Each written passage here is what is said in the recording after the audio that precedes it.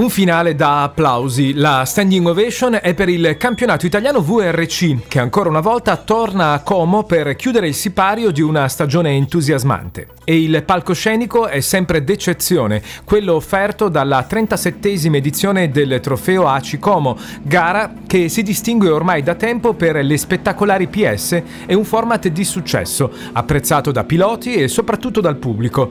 Un rally che mette in palio punti decisivi anche in virtù del coefficiente coefficiente maggiorato 1,5 e porta alla ribalta ben 138 equipaggi distribuiti tra trofeo maggiore, rally nazionale e storico. Risultato positivo che gratifica il lavoro svolto negli anni dall'organizzazione firmata Automobile Club di Como. È una grande emozione perché lo sforzo organizzativo è sempre molto importante. Essere l'ultima gara, essere quella decisiva non solo per l'assoluto ma anche per tante classi, credo che sia la cosa migliore che un organizzatore possa permettersi. Quest'anno tutti gli occhi sono puntati sulla sfida scudetto del CIVRC, sono in tre gli equipaggi a caccia del tricolore a partire dai campioni in carica Stefano Albertini e Danilo Fappani. Il tandem bresciano arriva nella cittadina lombarda ancora da leader di classifica, ma diversamente dalla passata stagione deve guadagnarsi qui la vittoria in campionato.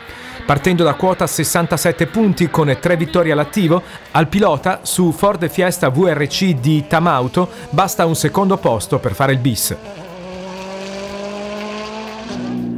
La conquista del secondo titolo è faccenda sicuramente più complicata per Manuel Sossella e Gabriele Falzone, secondi nell'assoluta con 50 punti. La coppia vincitrice del campionato 2015 deve riuscire a mettere almeno una macchina tra la sua Fiesta VRC della PA Racing e quella di Albertini. Una vittoria del Vicentino varrebbe il titolo per 0,5 punti di vantaggio soltanto con il Bresciano al terzo posto.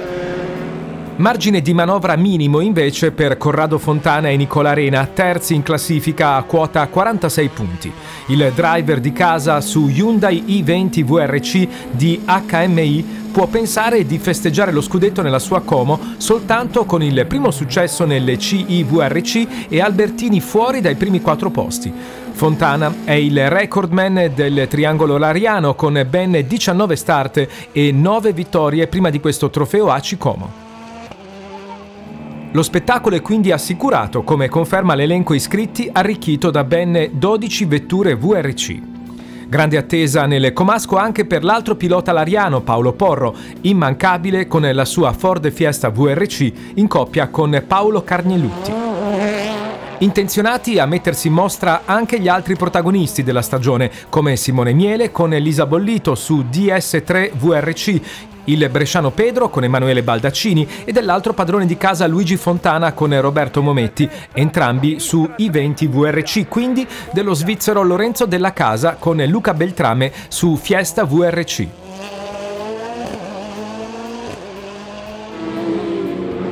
Ma il trofeo ACI Como ha richiamato come sempre l'attenzione di altri grandi driver del rally italiano, pronti ad inserirsi da outsider nella lotta al vertice. Tra gli iscritti, infatti, spicca il nome del romano Max Rendina sulla Skoda Fabia R5 firmata Motorsport Italia.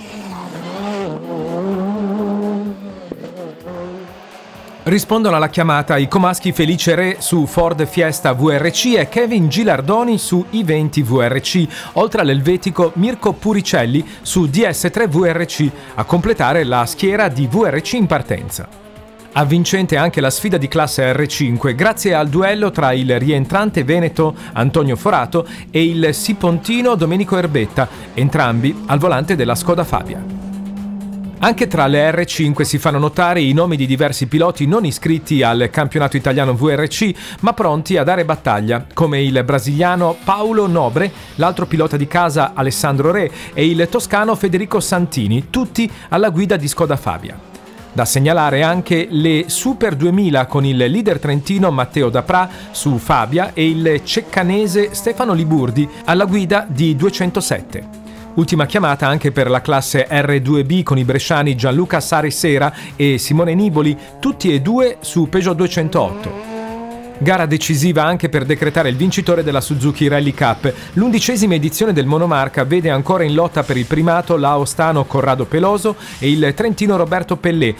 Tra gli altri protagonisti anche il padovano Nicola Schileo e il ligure Mauro Cornero, entrambi in corsa per il campionato italiano VRC che fanno parte del folto gruppo di 11 Suzuki Swift R1B allo start. Il meteo è dei migliori, il pubblico altrettanto e il rally parte da Piazza Cavour per affrontare le nove prove speciali suddivise su due giornate di gara. La prima, quella di venerdì, vede subito grande protagonista il padrone di casa Corrado Fontana, che prova subito a dettare il passo alle World Rally Car. Alle sue spalle Stefano Albertini mantiene la parola e la posizione, rimanendo sempre agganciato all'Ariano. Chi perde terreno è invece il terzo sfidante per il titolo. Manuel Sossella infatti viene subito limitato da problemi meccanici alla sua Fiesta VRC con il turbo che gli fa perdere 20 secondi già nel primo tratto cronometrato. Altri 20 secondi gli vengono inflitti con una penalità, così il Vicentino pronti via si ritrova a trascinare con sé una zavorra di ben 40 secondi in appena 5 km di gara. Un parziale tremendo che di fatto lo taglia fuori dalla corsa alla vittoria. Stessa sorte pochi chilometri più avanti per l'idolo locale Paolo Porro che incappa nell'ennesimo infortunio di una stagione stregata quando negli ultimi tornanti della Ghisallo la sua Fiesta VRC ha problemi al turbo costringendolo definitivamente nelle retrovie. Prova quindi la fuga Corrado Fontana, che non si guarda indietro e scappa in testa, aggiudicandosi tutte le quattro prove speciali, rientrando al parco notturno in pieno controllo della gara. Dietro di lui, di circa 5 secondi, il leader di campionato Albertini, che inizia a fare calcoli e, vista la debacle di Sossella, si mantiene in scia senza rischi. Ora gli basta un quarto posto per centrare il titolo, così Albertini alza il piede dell'acceleratore e si gusta al finale. Chi ne approfitta è l'outsider del CIR Kevin Gilardoni, il pilota di Gravedona riparte alla carica il sabato nelle sue speciali e a pochi metri da casa si esalta sulla lunga Val Cavarnia, imponendosi definitivamente al secondo posto assoluto.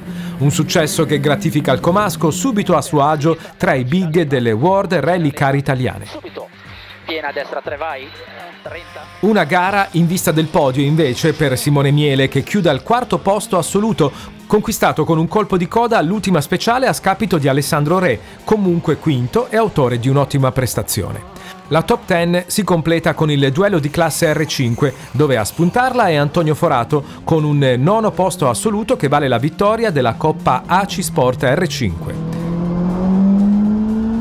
I tornanti comaschi decidono anche le sorti del trofeo monomarca Trofeo Renault Clio R3 Open, vinto dal veronese Federico Bottoni, mentre sul fronte giapponese della Suzuki Rally Cup è l'aostano Corrado Peloso a spuntarla di nuovo, assicurandosi il monomarca della casa di Amamatsu.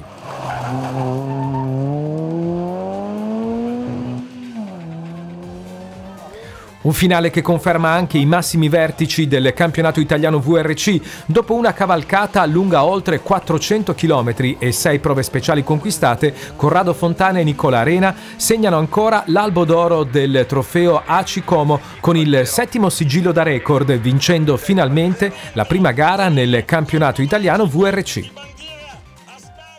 Beh, vale tanto perché per un motivo o per l'altro quest'anno non siamo riusciti a salire sul gradino più alto del podio e devo dire che abbiamo fatto una stagione bellissima, noi tre diciamo che abbiamo sempre battagliato e forse io ero l'unico che non aveva ancora provato diciamo, la soddisfazione di, di salire appunto sul, sul, gradino più alto e farlo in casa dai ci tenevamo molto perché era un po' di tempo che non si vinceva, un po' di tempo che mancava un comasco nell'albo d'oro di questa gara quindi è la mia settima vittoria e sono molto contento.